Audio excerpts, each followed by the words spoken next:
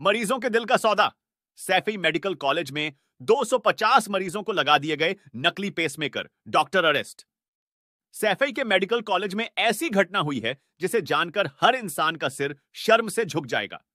UP में इटावा ज़िले के सैफई गाँव में एक ऐसी घटना सामने आई है, जिसने हर किसी का सिर शर्म से झुका दिया है। सैफई मेडिकल कॉलेज में तैनात कार्डियोलॉजी विभाग के एक डॉक्टर पर डुप्लीकेट पेसमेकर खरीदकर दिल के मरीजों को लगाने का आरोप लगा है।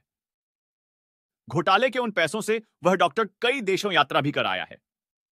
शिकायत मिलने के बाद पुलिस ने जाँच की तो आरोप सही पाए गए। पुलिस ने आरोपी को गिरफ़्तार कर लिया है। दवा कंपनियों से मिली भगत। एसएसपी संजय कुमार के मुताबिक सैफई मेडिकल कॉलेज के हृदय रोग विभाग में तैनात assistant professor doctor Samir Sarraf के खिलाफ फरवरी 2022 में पुलिस को शिकायत मिली थी। शिकायती ने कहा कि डॉक्टर समीर सर्राफ कुछ दवा कंपनियों से मिली भगत करके नकली पेसमेकर दिल के मरीजों को लगा रहे हैं और घोटाले के पैसों से विदेशों की सैर कर रहे हैं। इसके बाद सैफई थाने में आरोपी डॉक्टर के खिलाफ भ्रष्टाचार अधिनियम और अन्य धाराओं में मुकदमा दर्ज किया गया था। सीओ की जाँच में पाया गया दोषी उन्होंने बताया कि मामले की संवेदनशीलता को देखते हुए इस मामले की जाँच राजपत्रित अधिकारी से करवाने का फैसला लिया गया। इसके तहत सीओ सैफई नागेंद्र को यह जाँच सौंपी गई।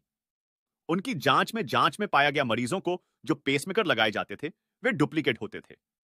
इसके बदले में दवा कंपनियों की ओर से डॉक्टर समीर सर्राफ को मोटा कमीशन दिया जाता है।